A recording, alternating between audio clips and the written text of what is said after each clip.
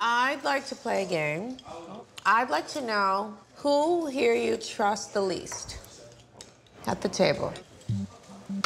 Myself. That's on. That's a great. That's a cop out. That's a cop out. You have to pick someone. I plead the fifth. I'm not going and starting a war. Who do you trust the most then? Because then that's more positive. I'm not going there, period. I'm, I'm tired. It's still divisive. Yeah, I don't know. I don't trust any f***ing bitches. No, I'm just kidding. go ahead, Marysol, go ahead. Yeah, who do you trust the Don't most? start here? though. Let's see What do you mean don't start? We already had it. I'm just curious. But start it off. Let's get it popping. Okay, okay, okay. Um, I think I trust Nicole the least.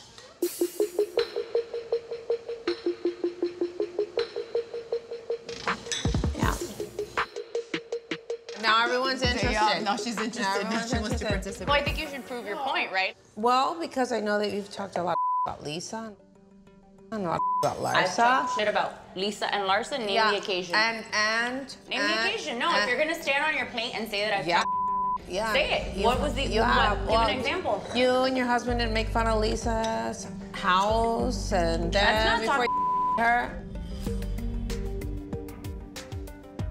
I know a lot of people that you know, and you and your husband talked about Lisa and Lenny. I'm a good friend, and I was told by friends, and she's not my friend. Nicole is quite sneaky. And now everybody just needs to know who we're sharing this home, our roof, and our food with.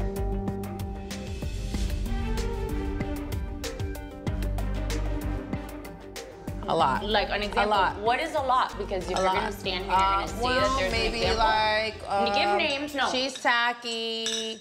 I don't like the way she dresses. I don't like her house. The only thing I said was that her floor was slippery and that we almost ate. Oh, it's a lot more than that. You know what you said. You also talked about Larsa. I told Larsa to her face that when I first heard the OnlyFans thing, I thought, why would this girl do this? And then I did my due diligence, like Alexia suggested, and I looked it up. I know a lot of people that know you, and I know what they said, and you called her a hooker.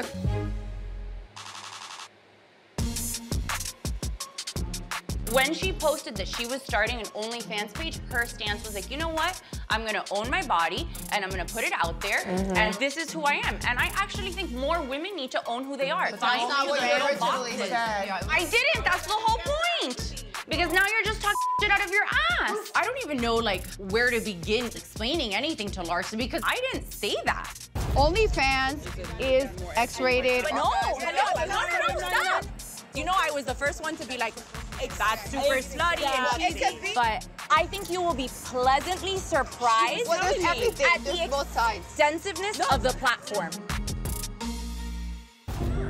Honey, if anybody knows anything about me, I don't talk at all. This is bull. The things that I was told that Nicole said was Larsa was a hooker, and she didn't want to be associated with her. I'm gonna let them have it out, and then at the end, I'm gonna give you my opinion, and I'm gonna tell you how I feel about it. You're all buddy buddy with everybody, but I don't trust it. That's just what I'm saying. And it doesn't look good. It's not nice. Marysol can be the nicest girl, but if you mess with her, she'll take you down. So Nicole better be careful. If I have to say one negative thing about Lisa, I would say that stylistically, we're very different. But that is negative. You can be blind and know Lisa's got the best taste in her house. It's not one is better or one is worse. They're I'm different. I'm just like saying. you could say I get like it, but I'm saying for I me like to brown. say that is like crazy. It's like crazy. Can I tell you would be something? Before there. I met you, I have a lot of friends from Miami that know you. And literally, they told me you were married to a guy that was literally a school teacher, I think, right? Yeah, back in the day, yeah. Yeah, and he was broke. And as soon as you met this guy that you're with now, Anthony, you were gone for the win just because he was successful and he was rich.